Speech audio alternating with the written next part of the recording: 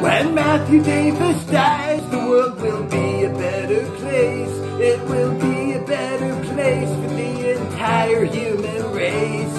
When Matthew Davis dies, the world will be a better place. Cause when God created him, he made a big mistake. Davis. He's the worst person in the universe.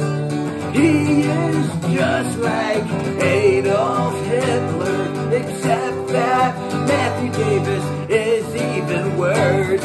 When Matthew Davis dies, the world will be a better place. It will be a better place the entire human race. When Matthew Davis dies, God created him, he made a big mistake. He should have been aborted. Why is he alive? Why must he live while better people die? He is so ugly, how can his own mother love him? Eyes start bleeding whenever I picture an image of him. When Matthew Davis dies, the world will be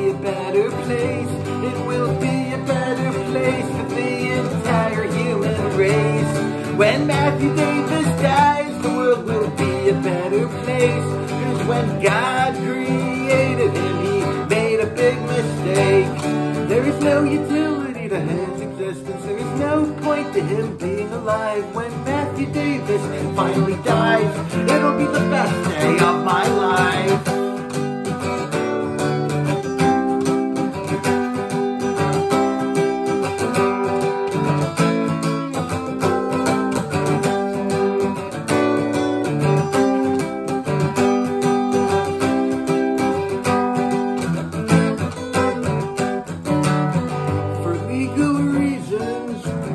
Now say, do not kill or murder Matthew Davis herself, that's not the way. Instead, we must wait patiently for the day.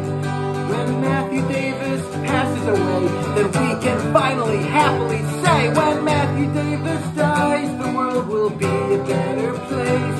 It will be a better place for the entire human race. When Matthew Davis dies,